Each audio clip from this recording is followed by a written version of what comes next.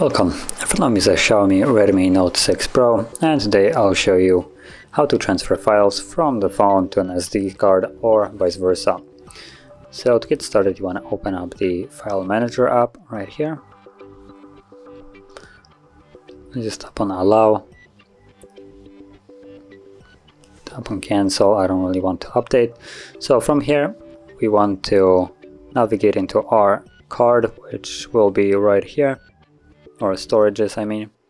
So once you tap on it, you will see either the storage or the SD card right here, so you can choose either one of them. Now, if you're planning to transfer uh, photos, videos that you have captured with the device, they will be always located under the DCIM folder right here.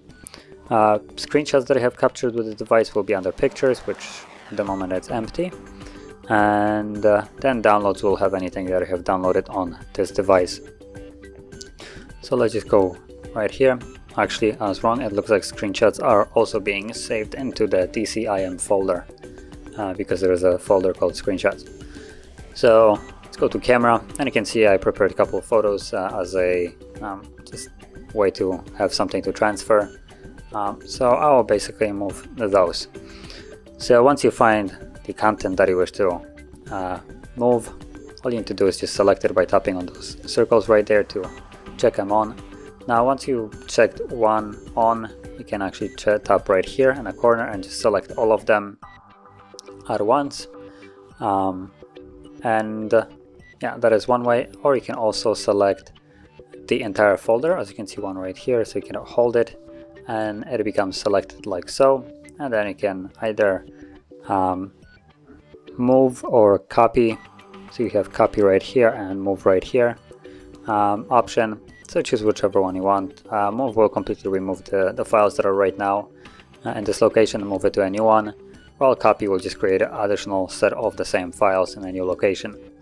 So I'm gonna select move and then it opens this up so now uh, if you're basically wanting to get the files off of the device uh, you probably want to move it to the SD card in this case.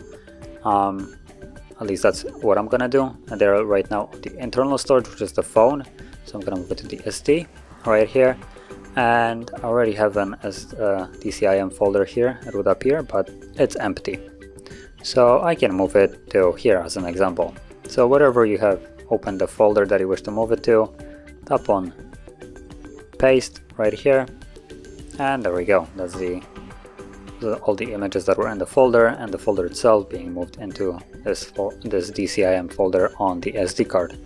And if I were to go back to, to the internal storage, which I am at right now, as you can see right here, it says right over there. Um, if I go to DCIM here, you can see that there is only screenshots folder left and the camera is gone.